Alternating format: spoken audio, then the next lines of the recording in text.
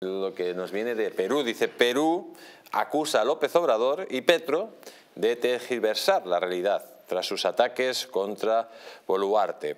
El gobierno de Perú ha vuelto a condenar las recientes y reiteradas declaraciones de los presidentes de México y Colombia, Andrés Manuel López Obrador y Gustavo Petro, respectivamente, acusándoles de tergiversar la realidad. El Ministerio de Exteriores de Perú expresa su más categórico rechazo a las recientes y reiteradas declaraciones injerentistas, irresponsables e ideologizadas y ha declarado esto la ministra de Exteriores Ana Cecilia Cervasi. Para Cervasi, los mandatarios insisten en desconectar o desconocer el golpe de Estado perpetrado por el presidente Pedro Castillo el 7 de diciembre de 2022 y la sucesión legítima y constitucional de la señora Presidenta de la República, Dina Boluarte, que ha sido ampliamente reconocida por la comunidad internacional. Esta posición evidencia una vez más su actitud contraria a los principios y valores que rigen la convivencia democrática en la región, plasmados en la Carta de la Organización de los Estados Unidos y en la Carta Democrática Interamericana, en particular en lo relativo a la defensa de la democracia, ha señalado. Asimismo, considera que los comentarios de López Obrador y Petro muestran un evidente interés de tergiversar la realidad con el aparente fin de ocultar los problemas internos del gobierno que ambos tienen en sus respectivos países. Eh, pues yo creo que es evidente.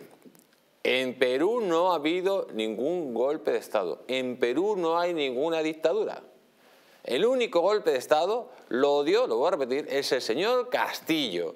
Y las instituciones de Perú, aplicando la ley, se revelaron, señor Victoria, y aplicando la ley y la legitimidad y la legalidad vigente, pues echaron a este eh, pintamonas directamente. Efectivamente, tú tienes toda la razón. En el Perú no ha habido un golpe de Estado. Lo que ha habido es una restitución de la democracia de los desmanes del el señor Castillo. Ahora, mira tú la megalomanía del señor Petro, que quiere incidir en los asuntos internos de un país hermano, cuando ni siquiera ha podido con el Congreso Democrático de Colombia, elegido democráticamente, pasar ninguno de sus demenciales proyectos como la reforma a la salud, a la que pretende eh, reformarla a través de una crisis o a través de un eh, llamado a una constituyente. Es que estos señores no se paran en pelos con nada, con destruir la democracia, con llamar a nuevas constituciones y elaborarlas a su medida para ver si arreglan el problema, por lo menos imaginario que tienen en su mente. Y entonces ahora este señor, en su afán megalómano, quiere también incidir en los asuntos internos del Perú.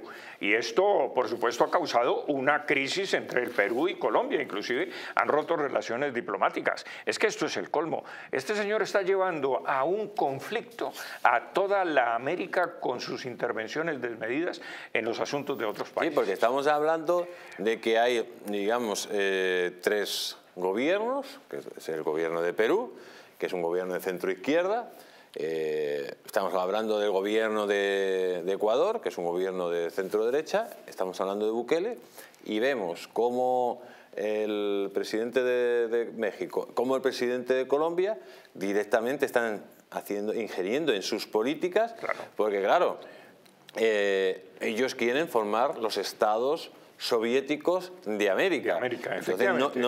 este tipo de personas que se rigen a la legalidad vigente, que son personas normales y que respetan la democracia, pues no entran dentro de sus planes. Claro, y fíjate tú la incidencia que tiene ahora China en América a través de Venezuela y a través de la penetración del resto del continente. Es que eh, lo que tenemos es un bloque europeo, un bloque norteamericano, un subbloque, digamos, en la OTAN y ahora ahora lo que eh, aspiran a tener es un bloque eh, chino comunista en toda la América para formar estos, eh, estos bloques que rivalicen unos con otros, pero que no en los aspectos democráticos ni en el progreso, sino que rivalicen inclusive militarmente para contrarrestar la influencia de los países verdaderamente democráticos del mundo.